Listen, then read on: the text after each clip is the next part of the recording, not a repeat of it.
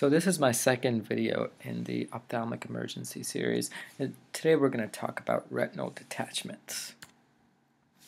So I want to start off with a little bit of anatomy. Uh, if you see, uh, this is a cross-section of the eye and at the back we have the retina and this is a more zoomed in version uh, of the retina. Now what you can't see here is the retinal pigment epithelium that is at the very back of the retina and what it does is that it provides a blood supply to the outer one-third of the cones.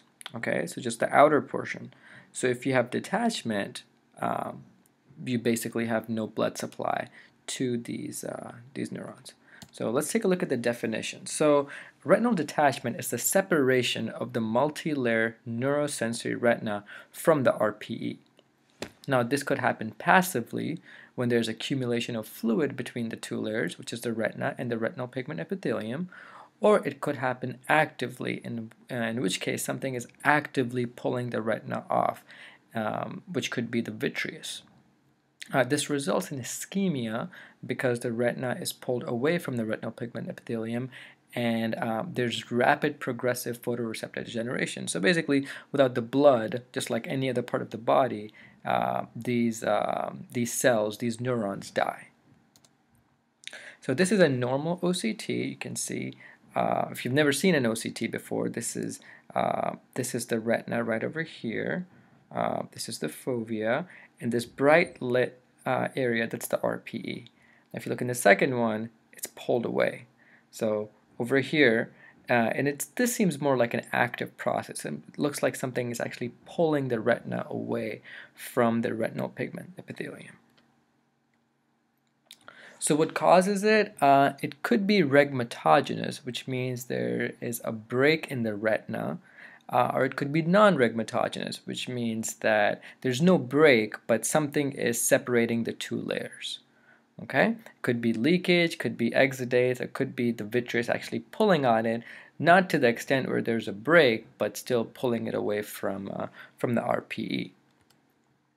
So, rhegmatogenous are the most common types of uh, retinal detachments. There is a hole or a tear, and that hole basically creates a space behind the retina where fluid could accumulate.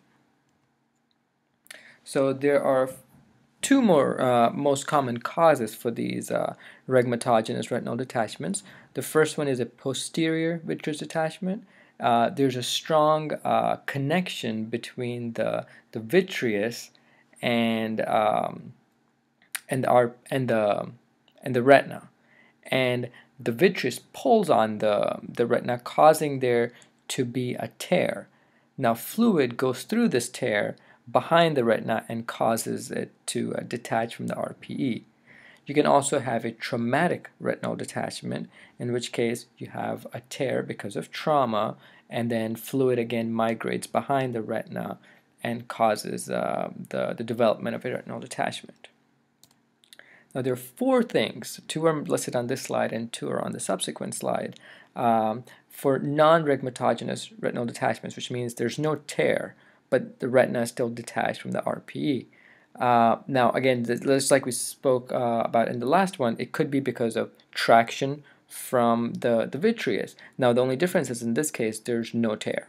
Okay, uh, it's seen in patients with diabetes, vitreomacular traction syndrome, retinopathy of prematurity, and sickle cell retinopathy.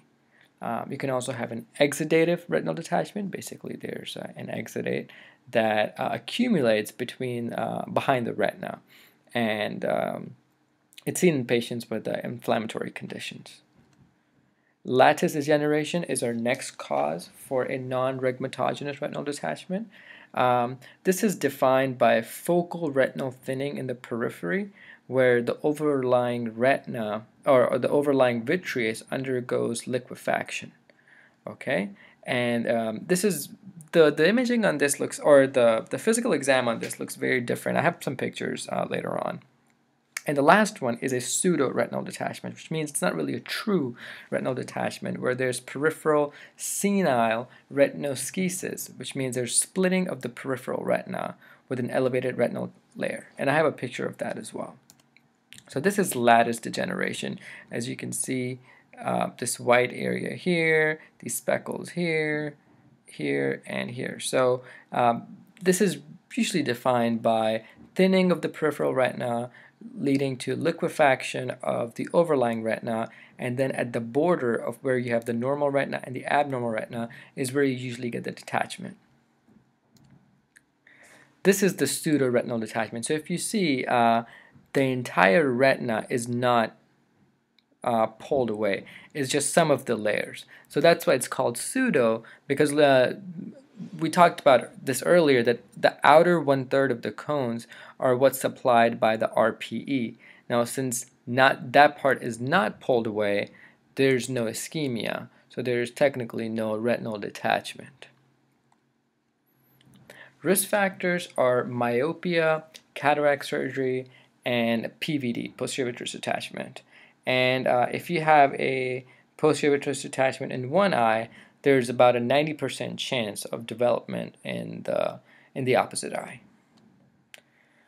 Presentation, uh, patients usually come in with an increased number of floaters. They'll see flashes of light, a curtain-like shadow over the visual field, and blurred vision.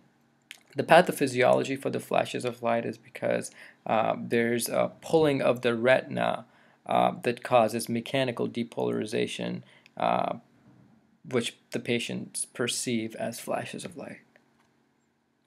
The diagnosis is made by slit lamp and a 360 degree scleral depression exam. Uh, in cases where you have a vitreous hemorrhage, you won't be able to see anything on your slit lamp, so you have to get a B scan. Treatment. So for patients who only have a posterior vitreous detachment, so the vitreous undergoes liquefaction and collapses, but there's no retinal detachment. It's just the vitreous that is liquefied and that is detached from the retina. You actually don't have to do anything. However, if they have worsening flashes, more floaters, uh, with loss of peripheral vision, then you start to think, okay, maybe there is a retinal detachment with it, and you have to you have to reevaluate these patients. In patients that have a retinal hole or a tear without a detachment, you do laser or cryotherapy. So you either burn it into place or you cool it or freeze it into place. Patients that have a rhegmatogenous retinal detachment, meaning they have a retinal detachment with a tear, uh, if it's small, you can again go with laser or cryotherapy.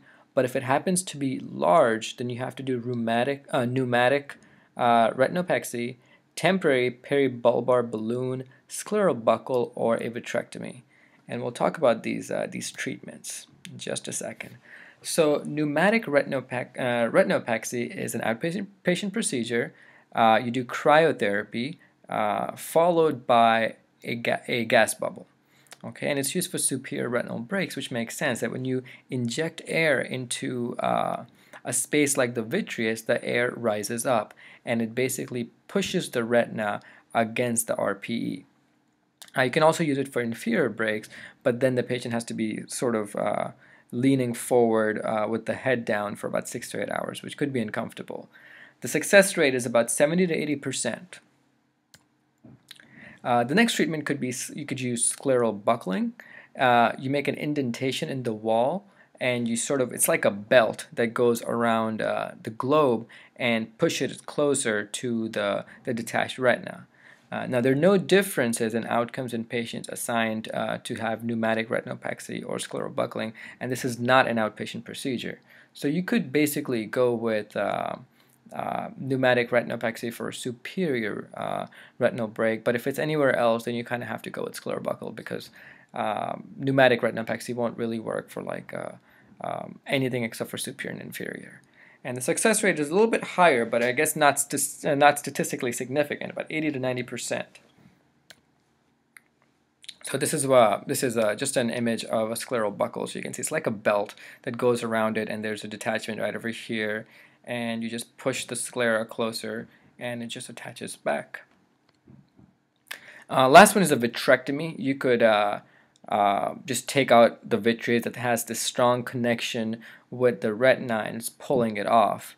And the success rate is slightly higher, uh, about 80 to 90% compared to uh, pneumatic retinopexy.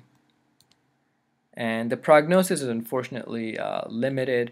Uh, this is an emergency, not like something that you have to take care of right away, but um, after 12 hours, um, there is retinal degeneration. So you'd like to get to it as soon as possible. And that's all I have for you guys today. Thank you.